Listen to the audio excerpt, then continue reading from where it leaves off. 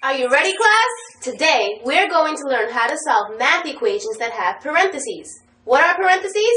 These are parentheses. And when you see parentheses in a math equation, there's a rule. The rule is always solve whatever's in the parentheses first. I'll repeat that. Whenever you see parentheses in a math equation, you must always solve whatever is inside the parentheses first. For example, 10 minus 5 plus 2. I know the rule, so I'm going to solve whatever's inside those parentheses first. And that's 5 plus 2, which gives us 7. Now, we simply bring everything else down that we haven't solved. I brought down my 10, my subtraction sign, and my equal sign. So now we have 10 minus 7, which gives us an answer of 3.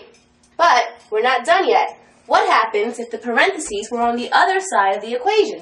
For example, we have 10 minus 5 plus 2. And let's pretend that the parentheses were here now. Let's see if we get the same answer.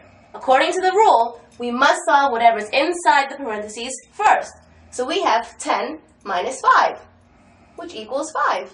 Now we simply bring everything down that we haven't solved yet.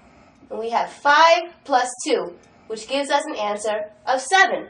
So you see, class, whenever you see parentheses inside of a math equation, you must solve whatever's inside those parentheses first. If you don't, you can end up with a wrong answer. On our first problem, we got 3. On our second, we got 7. So always remember to follow the rule. Whenever you see parentheses, solve what's in them first.